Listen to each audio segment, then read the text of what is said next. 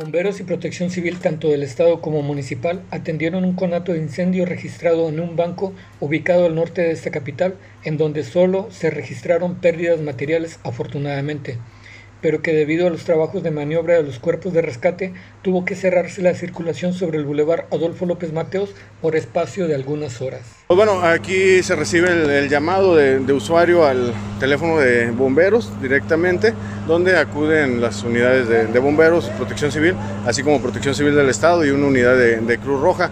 Fue reportado como un conato eh, al inicio ese, se reportaba que había sido en el centro de carga eléctrica de este, a un costado del site dentro de las oficinas y que ellos habían intentado sofocar.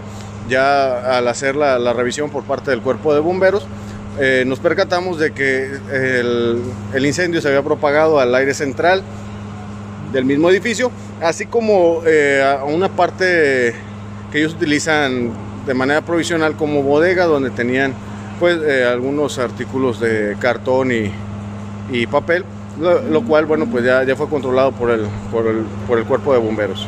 Eh, ¿A qué hora suscitó el siniestro? Aproximadamente a las 11 de la, de la mañana, poquito antes, donde eh, se recibe el llamado. Cabe mencionar que no fue directamente reportado el número de emergencia y esto fue ya una vez que el personal se encontraba resguardado o había hecho su, su repliegue fuera de la, de la institución, como lo marcan los, los protocolos.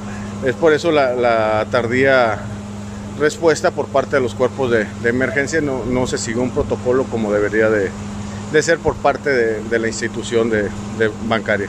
Informó para el Mañana de Reynosa desde Ciudad Victoria Alejandro Echartea.